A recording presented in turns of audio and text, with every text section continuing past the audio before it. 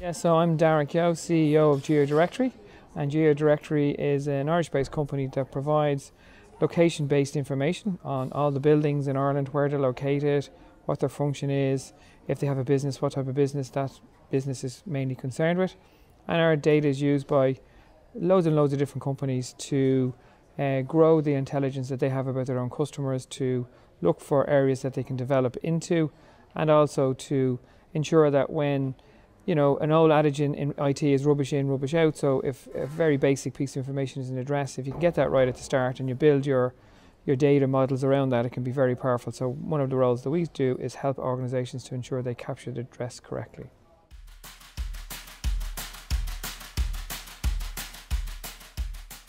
So uh, I'm today I'm talking at Predict and I'm going to be talking about blockchain. I'm going to be looking at blockchain from a of several case studies uh, three of which based in um, Europe, in Georgia, Malta, and Netherlands.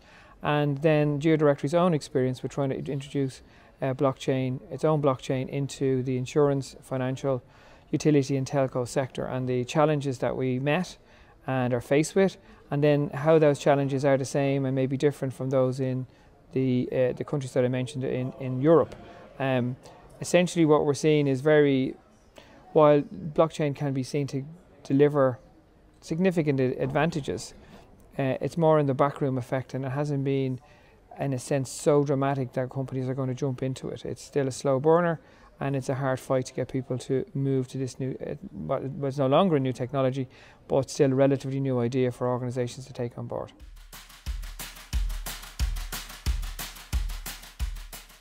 Yeah, so why we have built, we have actually built our own blockchain uh, we've also developed a whole suite of tools to help organisations, uh, to help organisations, um, you know, manage their data, mine their data, and bring greater value to data. So we have a, a tool that enables you to uh, clean your addresses, legacy addresses, and then, and then also append, you know, various pieces of information that will enhance the ability of, for you to use that data.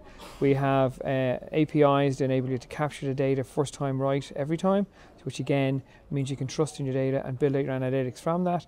And then we have a whole series of new data sets coming tr through Directory, which will enable you to, for example, if you're selling solar panels, be able to decide which house is, you know, going to deliver the best value without ever having to visit it.